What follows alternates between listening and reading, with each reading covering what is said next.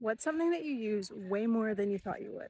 I'll go first. When we go adventuring, we used to take so much stuff with us. Towels, blankets, sarongs, baby carriers.